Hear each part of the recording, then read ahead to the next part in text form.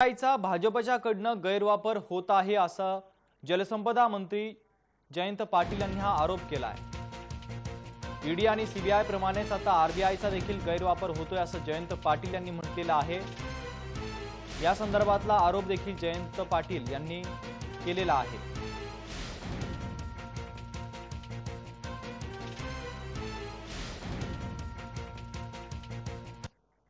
Reserve बँकेचं हे धोरण निषेधार्ह आहे.